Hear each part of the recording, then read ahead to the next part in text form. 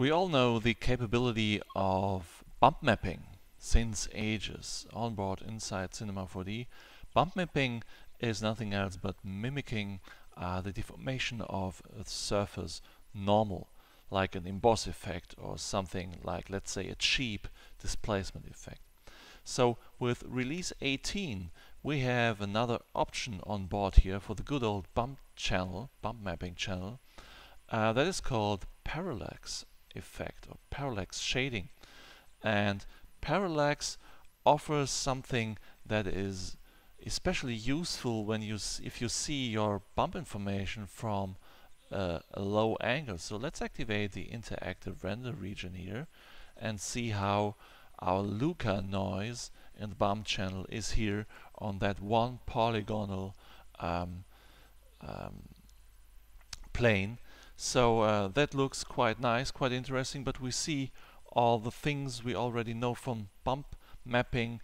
It looks like like um, like like like an emboss effect, but especially when seen from a lower angle from the side, it looks kind of flat, some kind of cheap.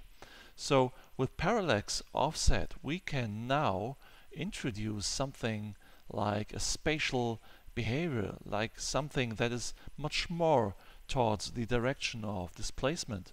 So um, let's dial in some values, maybe 20 uh, for beginning uh, for parallax offset, and you see there is clearly now something going on.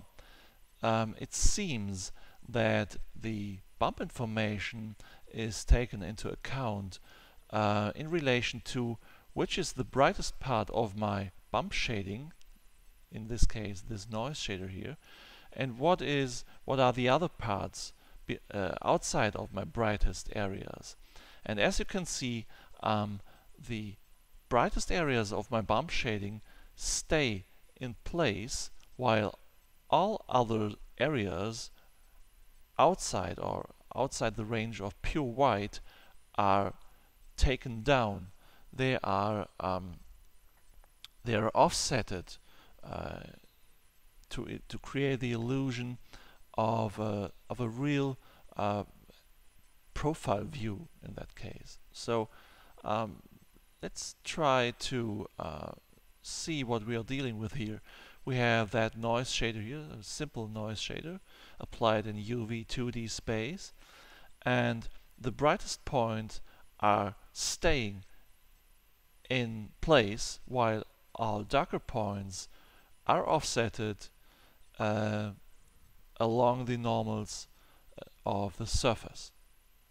So the other parameter here is simply, let's say, the subdivision of that effect. So let's dial down this to maybe one parallax sample. And you should see, ah, you, you see uh, the effect is getting uh, yeah washed out uh, not so detailed. So let's dial in maybe 20 samples to see the difference. Wait a minute for the rendering. And here we are all those uh, tiny details are reoccurring um, there are real spikes now. It's not washed out anymore. So let's head over to a pre-made example where you can see uh, the effect of parallax bump mapping much better. Uh, in this case, we have a pro purely procedural uh, landscape-like thing going on here. We have a combination of several noises inside the layer shader, and uh, all this is applied in, in, in the bump channel. So this looks quite nice. We have some uh, embossing effects here, but uh, the lower our viewing angle gets, especially here in nearly profile views, um, the more the effect gets uh, some kind of flat or cheap or not credible.